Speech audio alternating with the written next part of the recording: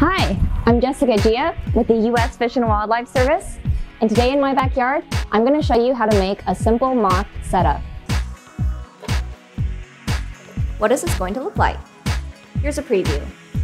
On this porch, you can see the following.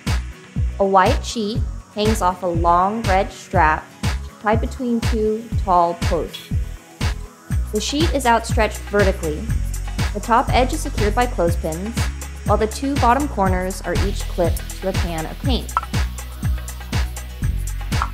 The black light is hung from the top middle of the sheet by dangling it over the strap.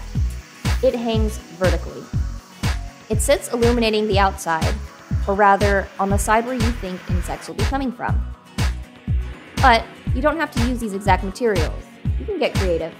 Your goal is to make a flat, white, stable surface with an insect-attracting light shining on it. Here's a view of the same setup from the backside. You'll want to set everything up during daylight, and then about half an hour after sunset, turn on the light. After a few hours, insects start showing up. Now I call this a moth setup, but really we're interested in all insects.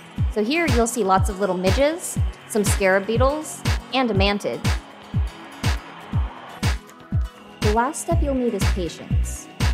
The first few nights you try, you might not get many bugs.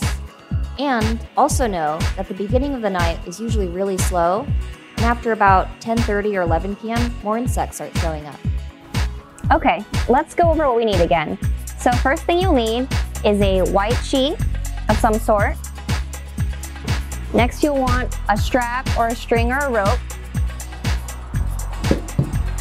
You want something to clip up your sheet with, like clothespins.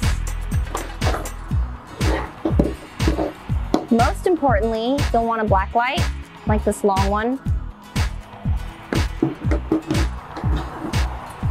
An extension cord.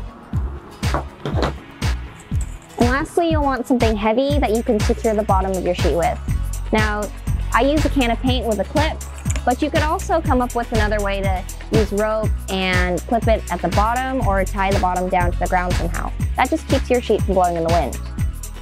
Thanks for watching. Hopefully soon you'll get to take a whole bunch of really cool bug photos like these.